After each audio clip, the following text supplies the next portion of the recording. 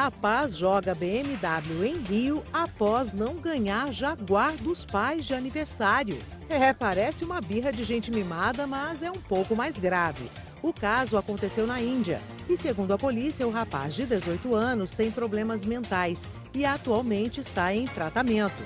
Até por isso, a polícia não registrou nenhuma acusação contra o jovem, que assustou as pessoas que acompanharam a cena de perto. Agora, arriscar a vida por causa de um carro?